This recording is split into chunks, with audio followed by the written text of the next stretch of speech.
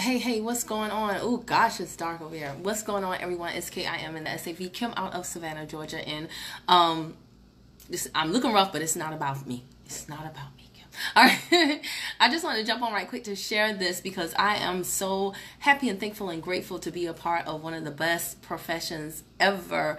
I was listening to my business partner, one of my business partners um, in the profession, speak today, and she was talking about how she was a registered nurse and how, you know, she got spent so much money going into debt in school because she wanted to get this quote unquote good job, you know, where it would be guaranteed that she would always have a job and all this stuff.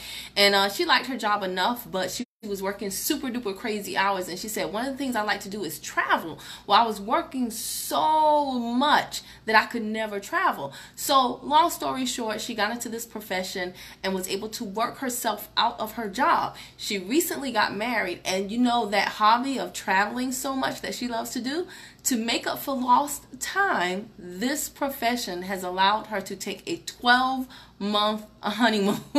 Oh my gosh, I was like I know so many people who have never taken a, a one day honeymoon, right? Or they took a funny moon, right?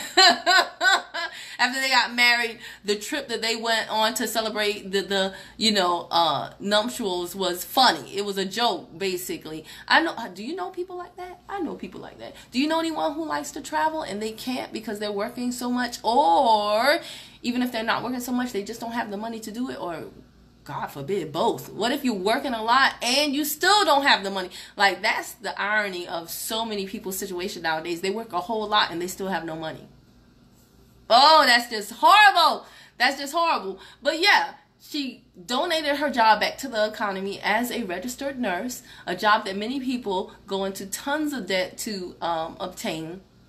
And she now, I mean, think about that. Do you know how long 12 months is? In case you don't, it's, it's a year. Yeah, it's a year.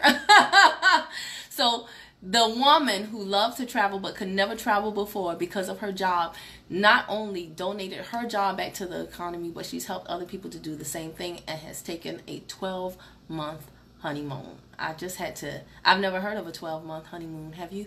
so I had to get on here and share with y'all. I am so happy and thankful and grateful to be a part of this profession. I want you to dream big and anything that it is you want to do, know that you can do it. Now, you might not be able to do it the way that you're doing things right now, but there is a better way.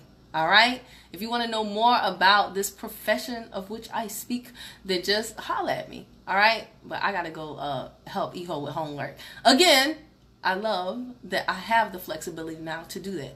There was a day and time when I couldn't even help my own son because I was so busy in higher education, taking care of other people's kids, getting their files ready, preparing reports for the next day. But now, go figure, I can help my own kid. Isn't that wonderful? No.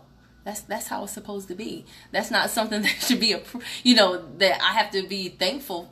That's not something I should desire. That's something that should be a given. Right? Right? Well, I'm happy. Now it is. All right. I'll talk to y'all later. Bye. I need to get this hair twisted. This is looking crazy.